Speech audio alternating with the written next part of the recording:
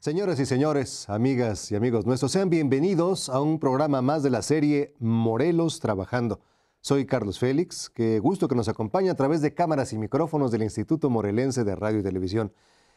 Quiero decirle que hoy me da mucho gusto tener a este entrevistado, que es una persona que usted conoce, que usted ubica, que yo tengo el privilegio de llamar amigo, pero más allá de todo y sin perder la objetividad, es un servidor público, es un político profesional que hoy es presidente municipal electo del municipio de Jutepec. Tres R's, Rafael Reyes Reyes. Señor presidente, bienvenido al programa. No, hombre, es un gran honor, mi querido Carlitos. Gracias por recibirme a ti y, por supuesto, a todo el, a todo el auditorio. Bueno, pues contando anécdotas y anécdotas de este espacio en el que tuve el privilegio y la oportunidad de participar. Porque además es cierto, regresa a su casa en donde allá por el año 2000 coincidimos en un paso, en una etapa de los medios públicos de Morelos, en aquel entonces la dirección de radio y televisión del Congreso del Estado de Morelos, en donde eh, trabamos la amistad, el aprendizaje, eh, y que seguramente te ha enriquecido como persona ¿no? en tu carrera política, Rafael. Sí, bueno, yo creo que en muchas cosas. Yo llegué al, sistema morelense Radio y Televisión, anteriormente Dirección General de, Radio y Televisión del Congreso. Llegué en un momento muy especial de mi vida había participado en una campaña política como secretario particular de quien fue candidato a gobernador por el PRI. Y bueno, con todas las lastimaduras que implicaba haber perdido, digamos, en medio de la derrota, los diputados, bueno, pues nos dan la oportunidad, porque bueno, pues si tú recuerdas, fue una designación, una decisión de los diputados de que pudiéramos participar aquí siendo funcionarios públicos. Y bueno, pues muy contento en una etapa muy, muy interesante de mi vida. Ya lo, ya lo habíamos comentado en algún momento en medio literalmente de la pobreza porque había que hacer magia para poder seguir administrando el, sistema morelense de radio y televisión. Y bueno, eso es, e, eso es lo que nos deja una enorme experiencia, entender que hay, hay cosas mucho más importantes como es el hecho de dejar instituciones fuertes y sólidas hacia adelante que funcionen y que le sirvan a la gente. Más allá de tu preparación académica, de lo que uno decide eh, abordar como, como carrera, siempre el servicio público, siempre la política, siempre el servicio, siempre la construcción de ciudadanía ha sido una de tus constantes. La política ha sido mi pasión, mi gran pasión. Eh, tuve que empezar desde abajo, como empezamos todos, en una suerte de alta formación. este, empezando desde abajo, desde pegar cartelones, manejando, este, yendo de arriba para abajo, tratando de construir lo que tú este, has determinado hacia el futuro. y, contento porque, porque al final de cuentas, bueno, pues me fui diseñando una ruta, busqué una oportunidad de tener un cargo de elección popular, lo hice a lo largo de muchos años, en el 2015 ciertamente me dan la oportunidad, ahí tengo cualquier cantidad de, sabores, digamos, de boca, porque si bien es cierto que me da la oportunidad el, partido en el que milité mucho tiempo, que era el PRI, pues a final de cuentas me dejan solo ya digamos en, medio de la campaña. Y luego tomo una determinación y tomo una determinación muy clara, eh, entendiendo que la política es mi pasión, que es el, origen de la, de la consulta. y, y, en esta pasión, bueno, pues yo creo que no puede haber un político que no crea en transformar, en cambiar, en modificar el estado de cosas y yo tomo una decisión que entiendo es la decisión más importante de mi vida. No debe haber sido fácil, ¿no? Este, no, nada fácil. Tomar la decisión de, de, renunciar a un partido en el que milité tantos años para incorporarme a un nuevo partido. Pero también tengo que decirte algo con, con, toda la franqueza. Yo me incorporo a ese partido en una sola lógica, en la lógica de una plena convicción de que este país tiene que cambiar, creyendo plenamente en el proyecto de Andrés Manuel López Obrador y convencido de que las cosas iban a cambiar. Y hoy estoy plenamente convencido que el primero de julio es el parteaguas de una serie de cambios y de modificaciones que se van a dar en este país. Me parece que nadie eh, avisoraba el, resultado final. Sí había una expectativa, había encuestas que marcaban a Andrés Manuel López Obrador como el candidato favorito en la tercera ocasión en que buscaba la presidencia de la República. Pero ¿cómo entender, cómo leer, tú que eres también un, observador y analista, analista y analítico del tema, has participado en medios de comunicación también con tu objetividad, ¿qué fue el detonante que provocó esa cascada de votos en favor del proyecto de Morena y de AMLO?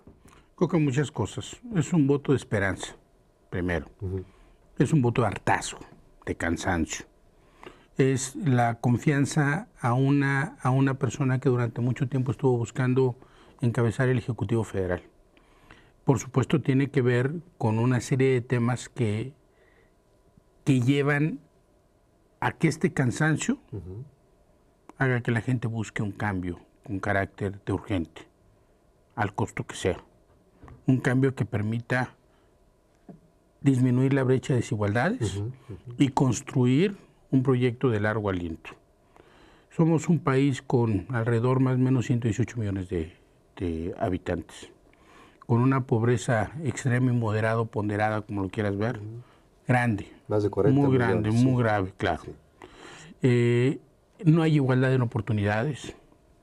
Tenemos muchos problemas de seguridad hoy en, este país, de salud pública, de deserción escolar, de desempleo problemas graves de pobreza y ahí puedes buscar cualquier cantidad de temas que, han llevado a que este país, bueno, pues esté en un, en un momento caótico. Sí, sí. Y si no empezamos a trabajar estos cambios que se requieren con modificaciones y con golpes de timón, yo así lo dije durante toda la campaña, requerimos un golpe de timón que nos haga entender que las cosas pueden cambiar. Y creo que el primero de julio, que el primero de julio fue este gran parteaguas de este entendimiento social, pero además de este reclamo de la sociedad que requiere un cambio en el régimen político, por supuesto, en la forma de hacer política y en la forma de hacer gobierno. Hoy estamos platicando con Rafael Reyes Reyes, presidente municipal electo de Jutepec, después de la pausa, más de su experiencia en este proyecto, Morena, la expectativa de gobernar uno de los municipios más importantes del estado de Morelos, su experiencia previa ya en esa demarcación y mucho más. Así que no se vayan, Quédese con nosotros después de la pausa en Morelos Trabajando.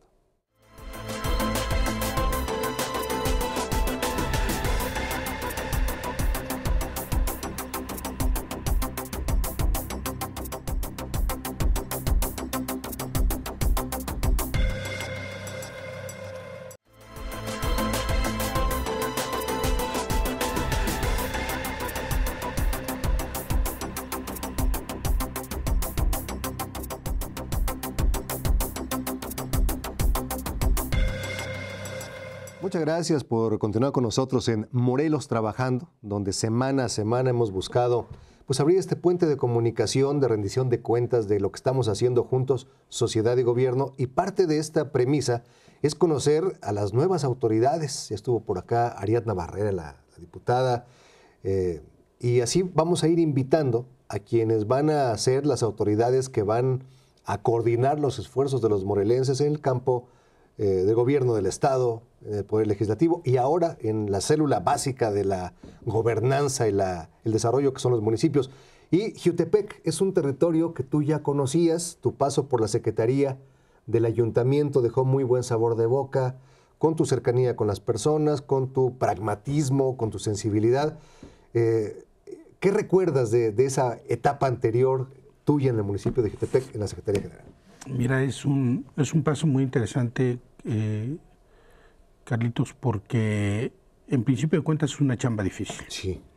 Toda la gente acude al municipio y las personas acuden en una lógica de que su problema se ha solucionado. Nosotros íbamos recibiendo a la gente, íbamos hablando con la verdad y desde entonces emprendimos esta lógica de hablémonos con la neta, qué se puede y qué no se puede. Sí. Hay problemas que tienen 20 años y por supuesto yo no estaba en condiciones de atenderlas y resolverlas en 15 minutos o en 20 minutos. Entonces íbamos hablándonos con la verdad, íbamos resolviendo lo que se podía resolver.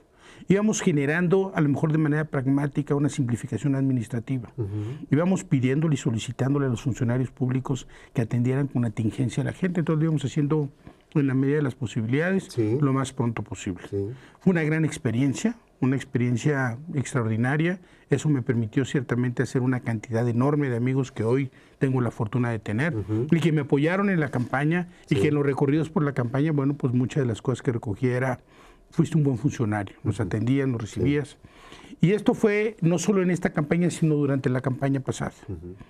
Nosotros siempre hemos creído en la simplificación administrativa, en el orden, porque una de las cosas que no tienen muchos ayuntamientos, es orden.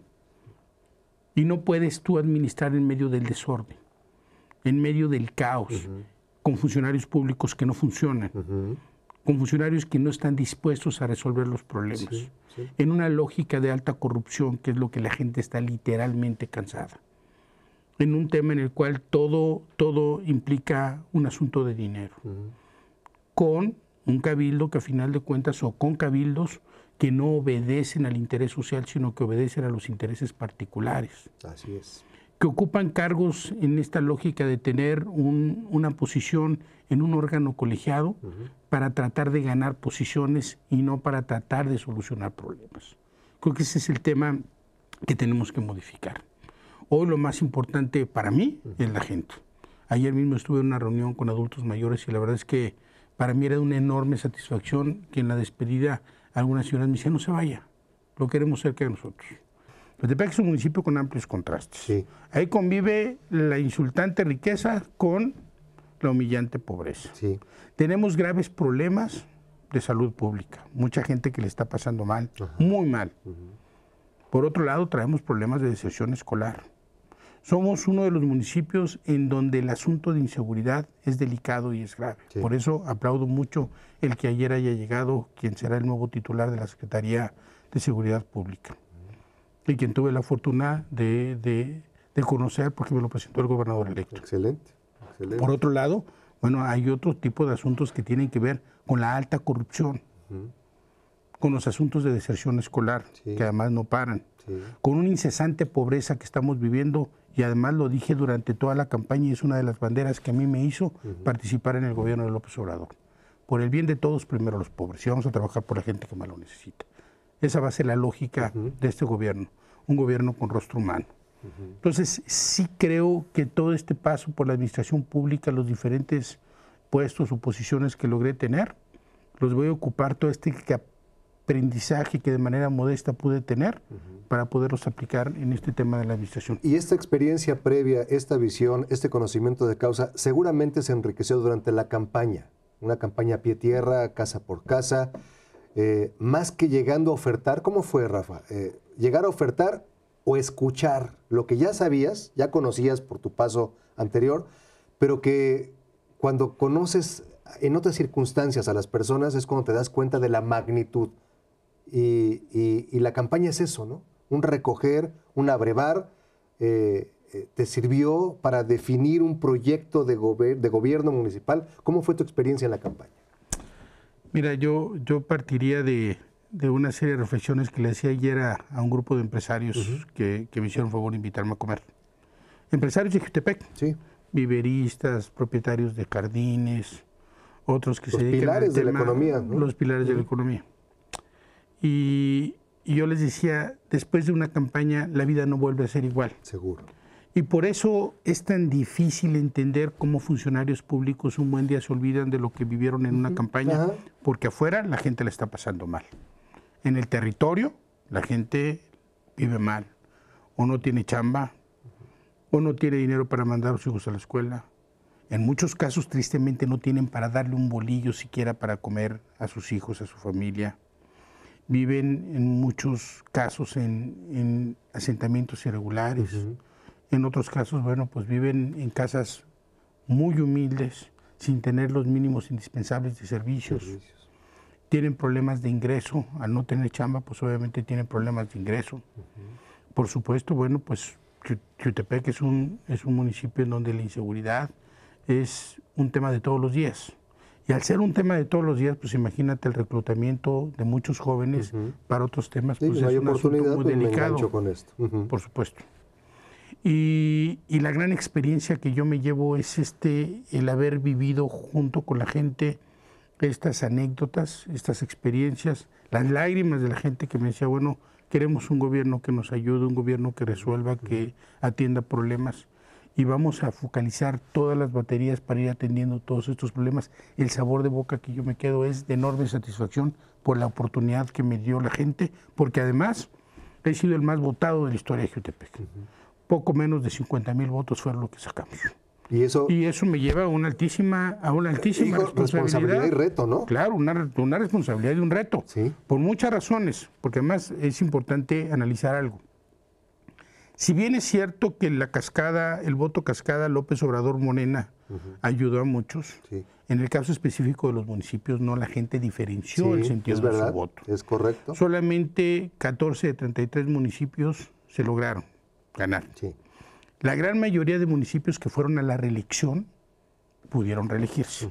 Creo que faltaron tres o cuatro, entre ellos Yutepec. Y esto, bueno, pues te, te, te hace ver que la gente sí observó mucho el sentido de su voto. El candidato, claro, claro, Que la gente sí observó quién iba a ser su presidente municipal.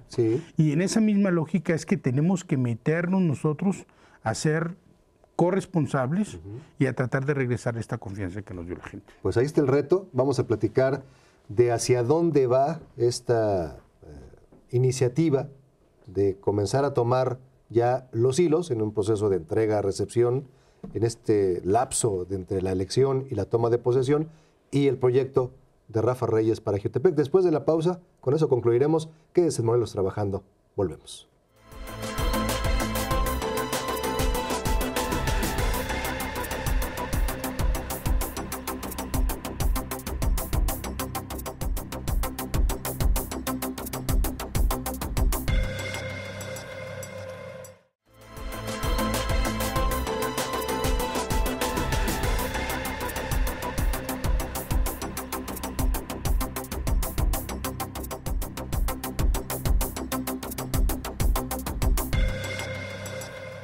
Regresamos a Morelos trabajando y ya están trabajando, eh, señor presidente municipal electo.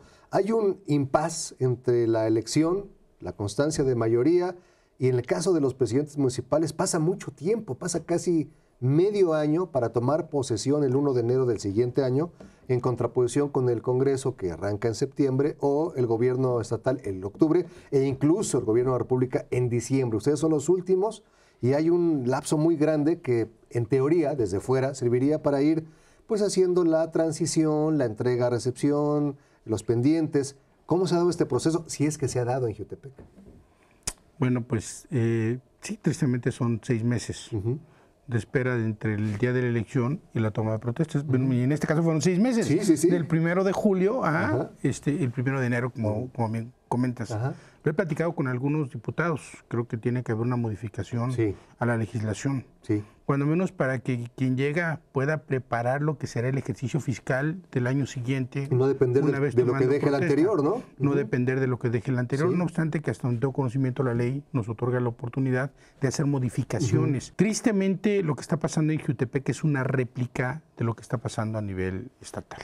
Tristemente el presidente municipal, bueno, pues no solamente no, no ha querido este, iniciar este proceso de entrega-recepción, argumentando ciertamente este vacío que hay en la ley de que, bueno, pues no tiene el por qué hacerlo, pero tristemente también, bueno, pues ocupando y utilizando el cargo público todavía para dejar a sus incondicionales en diferentes cargos, para sindicalizar gente, para seguir endeudando vía proveedores al, al ayuntamiento para eh, cobrarle la factura a la gente como si fuera una vendetta política social de un castigo, un coscorrón, dijera Lidia Cacho, por no haber votado por, él. Y entonces, bueno, les quita el tema de la basura. Recientemente, bueno, pues no les da útiles escolares. Que además contraviene el sentido de lo que él dice, dejar finanzas sanas. Lo hago para dejar finanzas sanas a la próxima administración. Finanzas sanas, cuando pretende dejarnos alrededor de 500 nuevos sindicalizados, crear dos sindicatos, por lo pronto lleva uno creado y al parecer pretende crear el otro. Eh, es un tema muy triste, es un tema muy grave. Sí, preocupante. Ahora me dicen, tampoco tengo elementos, pues porque hay un contralor que aparentemente dice que sí, que van a entregar, que no van a entregar. Unos comentan que pretenden hacerlo el 20, el 20 de diciembre. Yo desde ahorita te digo, nos vemos el primero de enero. Pero en esa misma lógica de que este país ya cambió, y que estoy convencido que este país ya cambió, y que no puede seguir siendo producto de acuerdos políticos, ayer lo comenté con el gobernador electo, ¿no? que no, no puede haber acuerdos políticos para generar indultos. Aquí, a partir del primero de enero, vamos a revisar hasta los lápices una auditoría profunda que me permite adicionalmente decirle a la gente el Estado que guarda la administración pública. No venganza, ¿verdad? Justicia, legalidad. Digamos que te lo respondería de esta manera. Creo en la transparencia, pero la transparencia sin rendición de cuentas no sirve de nada. Me gusta. Y después del 1 de enero, ¿qué, va, qué espera? ¿Qué podrá esperar la comunidad jutepequense de su presidente municipal? ¿Qué va a cambiar? ¿Cuál será el tono, el sello y la prioridad en los primeros, no sé, 100 días para empezar? Un, yo no, nunca he creído en el tema de los 100 días, porque un gobierno dura tres años. Sí. Y entonces, ¿para qué te pones una camisa de fuerza? No, 100 días. Sí. Pero sí traemos claro las primeras secciones, te platico. Sí. Primero, un gobierno con rostro humano. Funcionarios que funcionen, sí. que sirvan y que resuelvan problemas, que le hablen con la verdad a la gente. Simplificación administrativa con carácter de urgente. Es decir, que la gente no tenga que estar formada cualquier cantidad de horas hasta para poder hacer un pago. Imagínate lo grave. Y que esto te afecta a la recaudación. Claro. El otro tema, cero tolerancia a la corrupción. Vamos a poner cámaras de videovigilancia en aquellos lugares con atención al público. Cero tolerancia a la corrupción. Si vamos a hacer una revisión de la administración pasada, lo menos que podemos hacer es predicar con el ejemplo y entonces evitar que haya corrupción al interior del ayuntamiento. El otro tema, la descentralización de los servicios públicos. Es decir, no podemos tener dos delegaciones en Cibac, Tecalpa y adicionalmente lo que se presta en el centro de Jutepec si no sirven más que mamotretos burocráticos que no están funcionando. Entonces vamos a descentralizar estos servicios para ubicarlos en estos tres lugares. Vamos a generar condiciones para que en la lógica de la simplificación administrativa haya eh, tiempos perentorios para la entrega, para la entrega de los trámites que la gente tenga que hacer. No vamos a ocupar a los funcionarios públicos para un tema político electoral.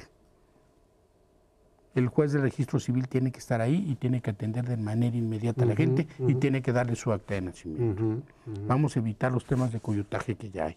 Vamos a hacer desde el primer minuto que lleguemos la salud un asunto en el que vamos a trabajar. Me comprometí durante la campaña que los centros de salud van a trabajar de las 7 de la mañana a las 7 de la noche, de lunes a viernes para que la gente no tenga que irse a parar a las 4 de la mañana para poder alcanzar una ficha. Mal de salud, vamos a trabajar padeciendo eso. Ayer, y esto te lo comento solamente como una, como una breve plática, un proyecto, platicando con los empresarios, yo les decía, está bien, que están dispuestos a dar. Y un, y un empresario me dijo, yo te voy a poner un piso en una plaza para que puedas poner consultores y poder atender a la gente. Tenemos que atender a la gente. Nosotros no podemos darle medicamento permanentemente a la gente, pues porque no hay recursos para eso. Pero sí tenemos que sacarlos de un trance en ese momento para evitar que haya derrames cerebrales en este tema de hipertensión, para evitar Que, puedan tener un problema mayor con el asunto de la diabetes, para poderlos canalizar a partir de estos lugares a hospitales más grandes. Tenemos que trabajar para construir este gobierno con, otras humanos, por supuesto. A nosotros nos toca en el tema de la educación seguir incentivando. Y ahí sí te lo digo, ¿no? Porque además lo comprometí. Vamos a dar útiles escolares desde el primer año. Excelente. Y les vamos a dar su mochila para que los niños sigan estudiando y para poder ayudar a la canasta básica. Vamos a emprender el programa Mano con Mano para ir ayudando a la gente y entonces ellos nos ayudan desde su comunidad y nosotros también ayudamos para entonces hacer en esta lógica de solidaridad un trabajo conjunto. Pues eh, esperemos que esta sea la primera de varias conversaciones que tengamos conforme se vaya acercando la fecha y ya como gobierno. Te quiero agradecer mucho tu presencia, que hayas tenido tiempo para Morelos trabajando, para comunicarte. ¿Algún mensaje final a quien te ve y oye en todo Morelos y más allá también? No, hombre, es un honor decirles que más allá de que no haya entrega-recepción, nosotros arrancamos el primero de septiembre ya con mucho con mucho ahínco, con muchas ganas. Estoy trabajando ya con el equipo, estamos trabajando con los abogados para ver cuál es la ruta que vamos a seguir de aquí al mes de diciembre, por supuesto, y después qué vamos a hacer para echar abajo el tema de los sindicatos. Vamos a revisar la situación de cada uno de los sindicados, sindicalizados, vamos a revisar la situación de cada uno de los pensionados, vamos a hacer un gobierno con rostro humano, no más gobiernos de club de Toby, vamos a trabajar por la gente, que además para mí es lo más importante y bueno, el mensaje que yo quedaría es que seguramente voy a estar en las colonias en los próximos días. Ayer arranqué en el paraíso y voy a estar visitando muchas de las colonias porque de verdad te lo digo, lo más importante de un gobierno tiene que ser la gente. Agradecido contigo, por supuesto con muchos ex compañeros aquí de chamba, a quienes les agradezco muchísimo que me haga favor de recibirme y por supuesto a ti, mi querido director. ¿eh? Tu amigo nada más. Gracias, Rafael. Muchas gracias a ti. El señor presidente municipal electo de Jetepec, Rafael Reyes Reyes. El esbozo, ya lo conocen, su persona, su proyecto, su filosofía y los resultados que ya desde hoy está comenzando a dar y se nota el cambio. Hasta aquí el programa. Soy Carlos Félix, a nombre de todo el equipo, muchas gracias. Hasta la próxima.